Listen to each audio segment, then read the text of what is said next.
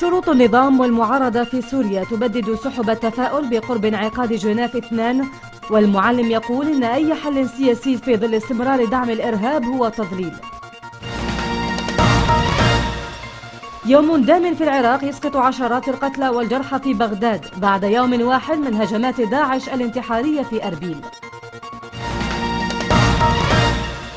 روحاني يأمر بالبدء بإجراءات استئناف الرحلات المباشرة بين إيران وأمريكا.